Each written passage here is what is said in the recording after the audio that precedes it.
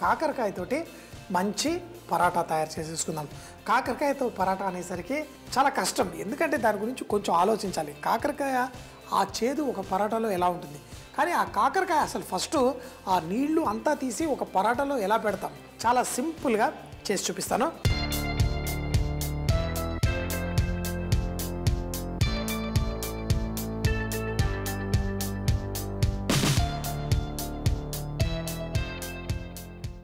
కొంచెం నూనె మరీ ఎక్కువ నూనె వేసుకోకండి.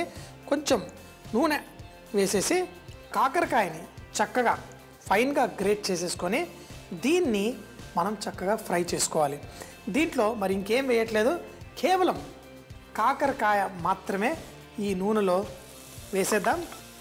దీంట్లో కొంచెం ఉప్పు వేసి మనం ఈ కాకరకాయని చక్కగా ఈ నూనెలో మనం సాటే చేసుకుందాం.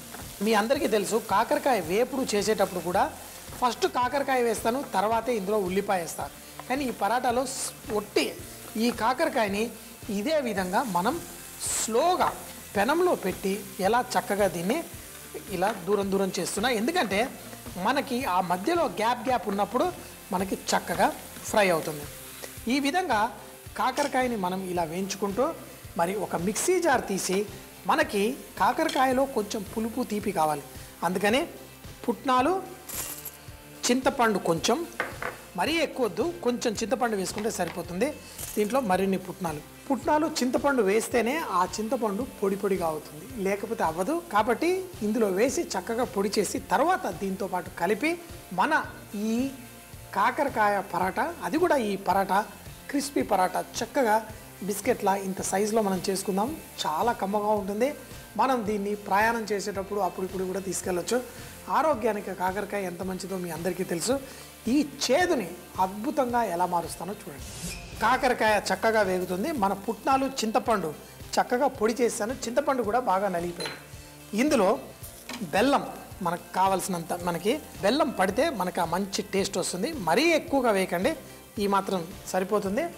అలాగే కొంచెం అంత జీలకర్ర పొడి ఇందులో మిరియాల పొడి అలాగే మన ఈ పుట్నాల పొడి. ఆ చింతపండు పుట్నాల్ని బాగా గ్రైండ్ చేసేసాను వేసేసాను. వేసి మంట మనం తగ్గించి ఎందుకంటే మిరియాలు వేసాం మంట తగ్గిపోతే ఇక మనం తుమ్ముతూ కూర్చోవాల్సిందే. ఈ పెనంలో ఉన్న వేడి తగ్గేంత వరకు మనం చక్కగా తయారు చేసేసుకుందాం. దీంట్లో ఆ కాకరకాయలో ఉన్న తేమ అంతా ఈ పొడిగా చేసుకున్నది పీల్చుకొని ఆ పరాటాలో మనం స్టఫ్ చేసుకునే విధంగా తయారవుతుంది. కానీ స్టవ్ కట్టేశాను కానీ చూడండి దీన్ని ఆపకుండా ఇలా చేస్తుండండి ఎందుకంటే మనకి ఏది మాడకూడదు. మాడిందనుకోండి మనకి టేస్ట్ పాడవుతుంది. ఇలా చేసి దీన్ని స్లోగా కొంచెం చల్లారు చేసుకొని తర్వాత దీన్ని మన స్టఫింగ్ ఎలా చేయాలో కూడా చూడండి మన బెల్లం అన్నీ చక్కగా